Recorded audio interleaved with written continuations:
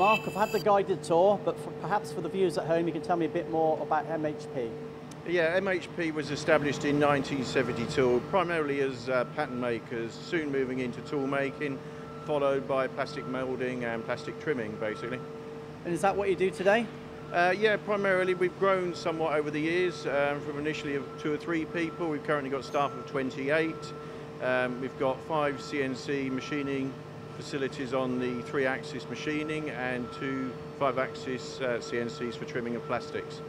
And I understand you've recently invested in Tebis software. That's right. We invested in Tebis software. Um, primarily, we found our old software was uh, not very efficient. Uh, it was very time consuming and we weren't trimming parts to uh, the accuracy we really needed to. So we invested in Tebis. We looked around all over the place at different companies and found Tebis to be probably the most uh, up-to-date, most efficient. And so that's the way we went. And can you quantify the savings? Well, it's difficult to say, but um, certainly at least 20 to 25% savings on time on trimming we've achieved over the last uh, three months we've been using it. And how about the programming? Is it straightforward? Um, well, that's one of the reasons we chose Tebis. Looking around, it seemed to be one of the simplest systems to learn how to use.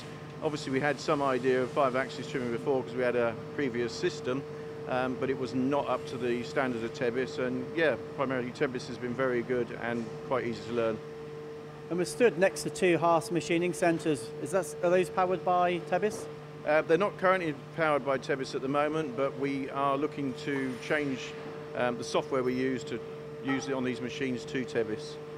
And when we buy software, that's only half of the deal, isn't it? How about the training and how about the support from Tebis? Yeah, that's absolutely right. The training is uh, very important with the five-axis software. It's not a simple thing to use, but uh, one of our um, apprentices has been trained on the five axis. He's taken to it very well. In fact, um, you're quite welcome to have a chat with him later and see how he gets on. Ed, I know MHP, they're new to Tebis software. How are you finding it? It's really good, much quicker than our old software, and it's got a great user interface, and the anti-collision simulation as well is very useful. Okay, is it, did it take long to pick up?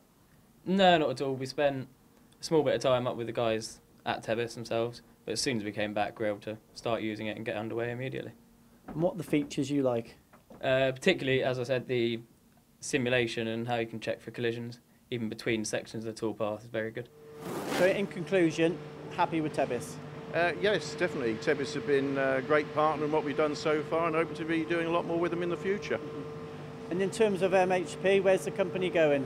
Uh, well, we're growing quite rapidly at the moment. Uh, we're gaining several blue chip companies uh, every year and looking to expand on the trimming with Tebis and also on the three axis machining on the tool making side. So, yeah, all very good at the moment.